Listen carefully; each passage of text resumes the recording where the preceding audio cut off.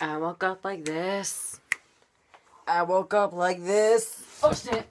Ow. Yeah. That was a failed intro, but anyways, hey guys, it's Aaron, and by the time you guys saw this title of this video, you guys are probably just like, Aaron, what in the hell did you get yourself into now? But yeah, let me just say, I really don't think it's my fault, at least. I mean, who knows, it could be anyone's fault, but yeah. The way I did end up getting stabbed somehow was like one of the craziest and most random ways to get stabbed. I say random a lot, I'm sorry. But yeah, the way I did end up getting stabbed, that was just so freaking random and crazy that yeah, I just and I actually did remember this like a couple days ago. I'm like, okay, this will be like the perfect story time ever. So yeah, let's just get on with the story because I'm pretty excited to tell you guys the story. Okay, so back in elementary school, I can't really remember what grade I was in. I think it was in like second or third grade or whatever. But yeah, in one of my classes, there was this kid and he was freaking crazy and creepy. Like, I found him to be completely crazy and creepy as well as the other kids because the things he did were just so freaking crazy. Like, for example, like during recess, he'll like find these bugs and he'll start like chasing people around the playground with it, and we'll just be like, "Ah, get that bug away from me!" And he's like, "No, come back. I want you to say hi to my little cockroach friend. He wants to be your friend too." And there are also these times where he'll like randomly like go up to girls and he'll like try to like seduce them. Like not really the way I tried seducing girls back then because that was freaking crazy. If you haven't seen that story, by the way, you should check it out. It was pretty crazy and weird. But yeah, he would just go up to girls and be like, "Hey, I love you. I want to marry you. Go out with me, please." Mm-hmm. and then he, and then girls would be like, "No, after all the things you've done, you pretty much creep me out, and I think you're officially crazy." Like he was pretty much the crazy kid of the school, and also what was also crazy about him is that is that at really random times he would sing that Barbie Girl song by Aqua. Like if you've never heard of it, just like go to YouTube and search Barbie Girl by Aqua or whatever. Like he'll like randomly like go in the playground and go to other kids and just be like, I'm a Barbie girl in the Barbie world. Life in plastic, it's fantastic. You can brush my hair and dress me everywhere.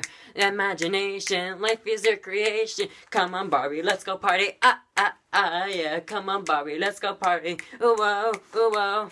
Yeah, he did that a lot and. Yeah, it was kind of crazy and weird. I mean, to us at least. I mean, yeah, just a freaking like second grader singing the Barbie Girl song, trying to like ask girls out and freaking chasing us around with bugs. Like it was kind of weird for, to us. But this one day, I I think he lost it at this point because I think he went full blown crazy. And of course, knowing my terrible luck, it of course happened to me. Ha! I'm so lucky. Apparently.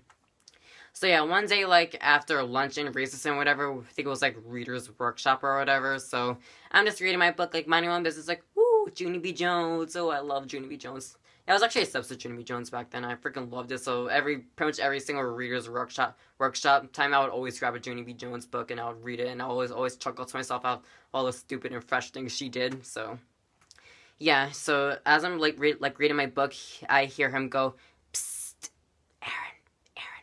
and I'm just kind of like putting, I'm kind of like putting my book down like that. I'm like, what? And he's just staring at me with this really creepy, psycho face, and he's just like, hi, Aaron.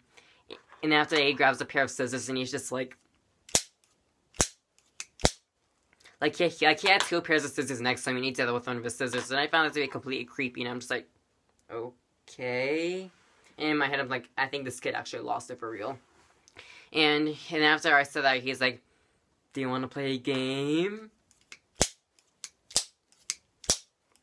And I'm just like, um, no. Can you please get out, get out, and like get on my face to get away with me with those scissors before you hurt someone with that? Um, and yeah, he didn't really listen to me. He's like, okay, good, we're gonna play a game together. And then he, then he pretty much like explained this whole game process with me, and he's just like, okay, so you're gonna grab these two pencils, and you're gonna hold them in your hands, and then I'm gonna take these two scissors, and I'm gonna put them around the pencil like this.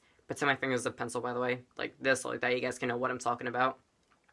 So yeah, he was supposed to like hold the scissors around the pencil like this, and and yeah, and after he's like, okay, and after that we're gonna go back and forth like this, just like that. I can prevent myself from accidentally stabbing you in the face. Ah. okay, that actually kind of hurt me that time, but yeah. But yeah, he was full blown crazy. Like, I did not want to accept the challenge, but me being like such a freaking rebel back then, I was like, okay, yeah, let's do this. I'm gonna kick your ass. Ha! I mean, I obviously didn't say that word back then because I would get in trouble if I did, but yeah, so I happily like accepted the challenge thing. I was gonna freaking beat him, and I was beating him. Like I was like freaking like moving the pencils back and forth as the scissors were like kind of like going around the pencils like this. I'm like, yes, yes, yes, you cannot, or you cannot stab me in the face now, ha! I'm the freaking guardian master. You cannot stab me in the face now, ha! Like I was freaking like being boss of boss right now because I did play a lot of video games and I knew like a lot of defense tricks. So I'm just like, yeah, yeah, yeah, yeah do not dare, don't you dare stab me in the face. But sadly, the game kind of took a pretty sad and unexpected turn that kind of escalated quite quickly. And yeah, I'm sure that's where the title comes in, obviously. So as I'm like freaking like like kind of like moving like my pencils like this, like like avoid the scissors, stuff like that. This one of the scissors that was like kind of on my pencil like this. Pretend this is my pencil again. It the pen the ugh, the scissors kind of like like it like let go of the pencil like that, and I'm like, oh shit. And then and all of a sudden, like because of, of the fact that the crazy kid like moved forward like this with all this force, the scissors like literally like penetrated my arm like right through my arm, and and this my scissors kind of like went through like the my arm like kind of like right over here or whatever because like yeah like over here or whatever. I can't remember. It was somewhere around there. It wasn't all the way, of course, because that would have like been bad. I probably would have lost my whole arm. But yeah, I'm just sitting there like all like.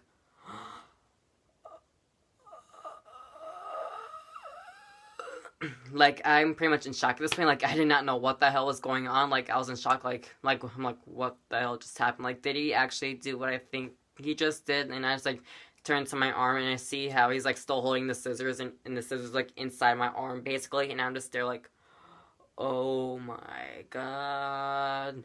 Like, like I didn't feel the pain at first because I was so freaking shocked. But as soon as I saw the blood, like, kind of like spewing out of my arm, that's when the pain hit me. And I'm like, ah! Oh my god! Call the cops! Call the ambulance! Do something! I have to go to the hospital! Please save me! And as you guys know, by the time I broke my head, I freaking hated.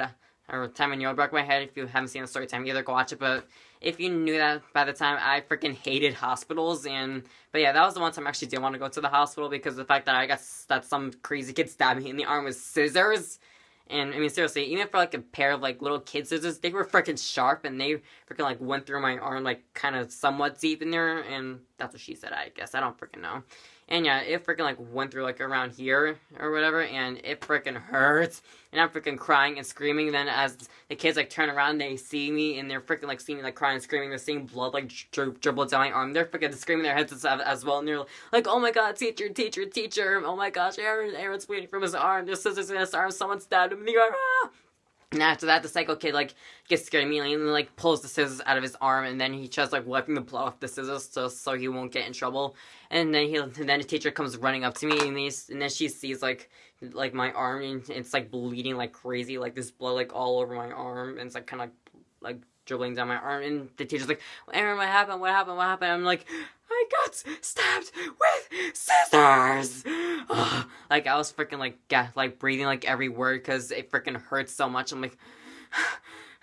like I just wanted this pain to go away. Like I'm trying to like wipe the blood off my arm as well, just like that my arm won't be like so freaking red and stuff like that. So and my teacher has to like send me down to the nurse's office and she's like freaking like rushing me to the nurse's office. And and some of the kids are freaking like following me as well because they want to see what the hell is going on. They're like teacher wait wait wait teacher wait i want to come i want to come i want to come i want to see what happened to aaron i want to see what happened to aaron i want to see if he's gonna be okay i want to see if he's gonna lose his arm. Uh.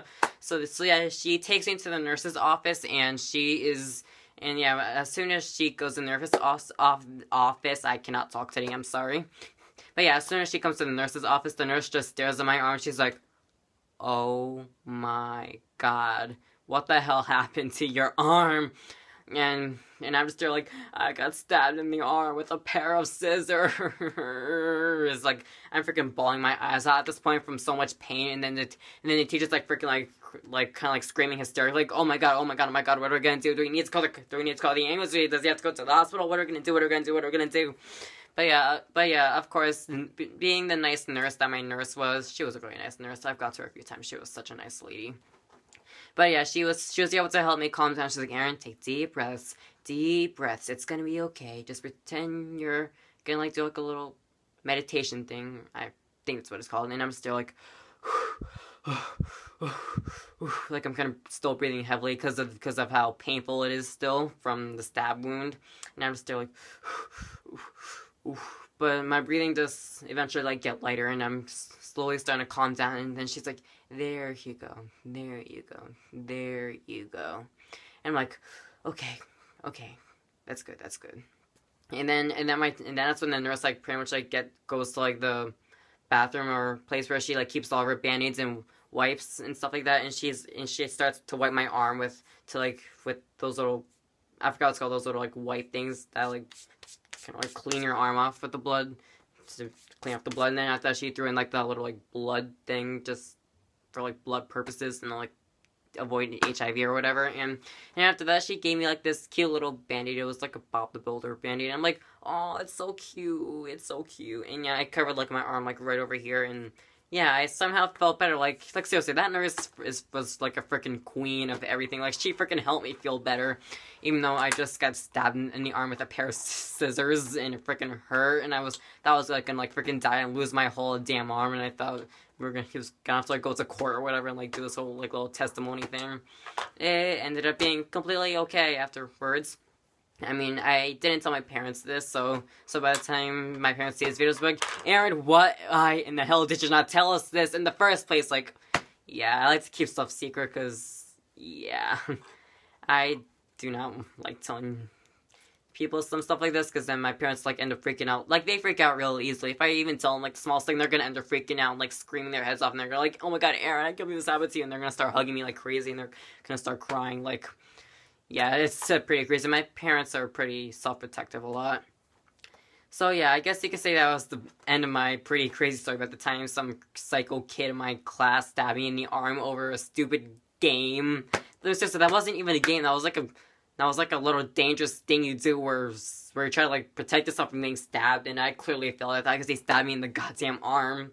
Like the scar is, really isn't here anymore, but yeah. I guess you could say that's the end of my story time, I guess. Um, by the way, guys, like, before I end this video, I kind of want to say, like, it, like, I know that, like, there's this whole little trend called story time going around YouTube now, but I want to try to create mine, like, little, like, a little bit unique as well, like, like, I kind of want to create my own name for story times, like, maybe I could call it, like, my crazy life experiences or whatever, maybe, like, Aaron's Life or whatever, like the Aaron's Life show or whatever. I don't know. That was a stupid name, but yeah. If you have like any ideas for my story times, like leave it down in the comments below. Maybe I'll consider them. I don't know. So yeah, guys. I hope you guys enjoyed this story time about me getting stabbed with scissors, and I'll see you guys in my next video. Bye.